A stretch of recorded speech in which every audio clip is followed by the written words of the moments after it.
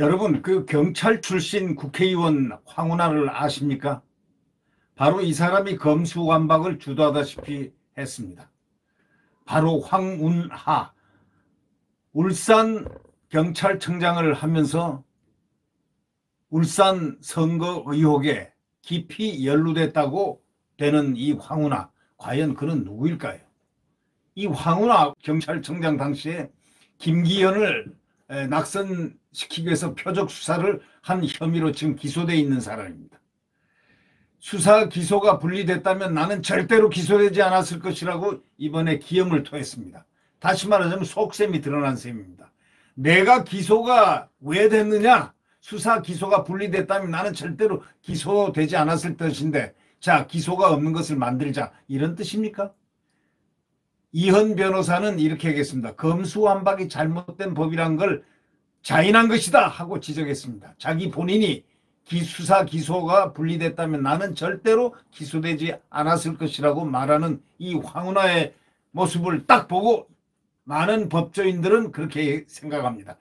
이현 변호사는 검수완박이 잘못된 법이란 걸 스스로가 자인한 것이다라고 아, 매주 매우 격분했습니다. 청와대 울산시장 선거 개입 의혹 사건에 연루돼 가지고 재판을 받고 있는 황운하 더불어민주당 의원이 수사 기소가 분리됐다면 나는 절대 기소가 안 되고 멀쩡했을 것이다 이렇게 말했다는 겁니다.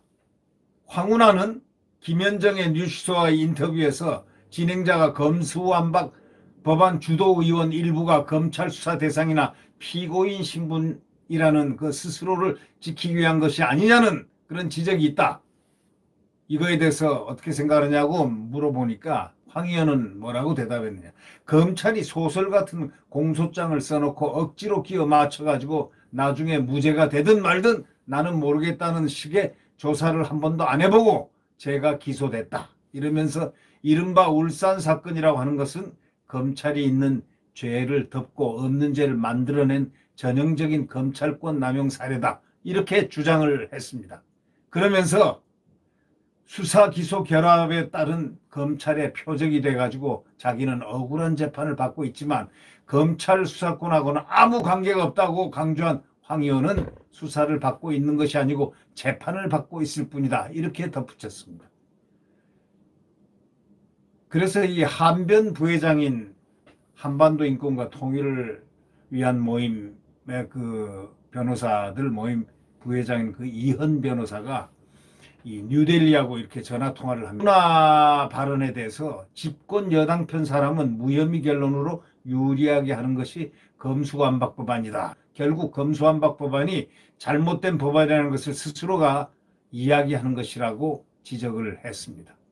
그러면서 자신을 잡은 수사기관의 권한을 빼앗는 식이 되기 때문에 기본적으로 옳지 않다면서 기소권이 분리됐으면 기소되지 않았을 것이라고 그런 말을 한다는 것은 도대체 국민들이 납득하지 못할 것이라고 꼬집었습니다. 하나는 기소돼서 피고인의 처지에서 검수완박을 지금 내세우고 있다고 지적한 이 변호사는 이익을 내세울 수 없는 사람이 내세우는 몰상식한 상황을 국민들이 보고 있다고 신랄하게 비판했습니다.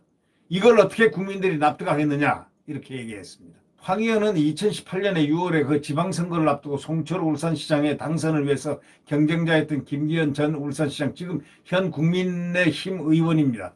이 사람을 표적 수사했다는 혐의로 재판에 넘겨졌습니다. 당시 황 의원은 울산경찰청장이었습니다. 검찰은 송 시장이 2017년 9월께 황 의원을 만나가지고 김 전 시장 수사를 청탁을 했고 또 당시 청와대 백원우 민정비서관과 박영철 반부패 비서관 등이 송병기 전 울산 부시장으로부터 비위 정보를 받아서 재가공을 해서 울산 경찰청으로 내려보냈다고 본 것입니다. 검찰은 2020년 바로 이 사건에 연루된 황 의원을 비롯해서 어? 송 시장과 송 전 부시장, 백전우 전 비서관, 박 전 비서관, 음?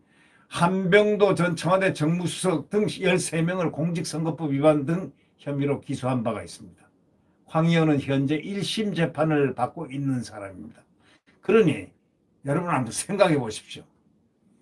이런 사람이 바로 이 검수완박을 지금 주도하고 있습니다. 이 검수완박이라는 게 이게 무서운 겁니다. 이게 이게 민주주의를 부정하는 겁니다.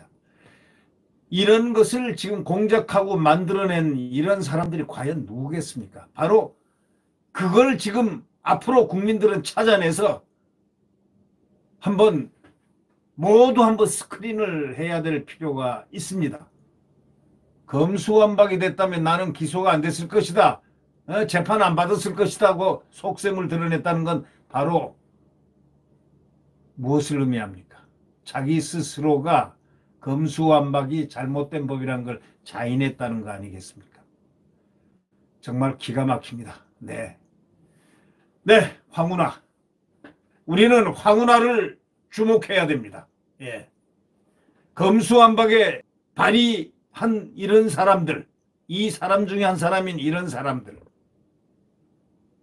바로 이 사람들의 마음속에 검수완박이 있는 것입니다. 우리는 이 검수완박 됐다면 나는 기소 안 됐을 것이라고 속셈을 드러낸 경찰 출신 황운하를 주목해야 될 이유가 있습니다. 네. 구독 버튼과 엄지를 눌러주시면 감사하겠습니다.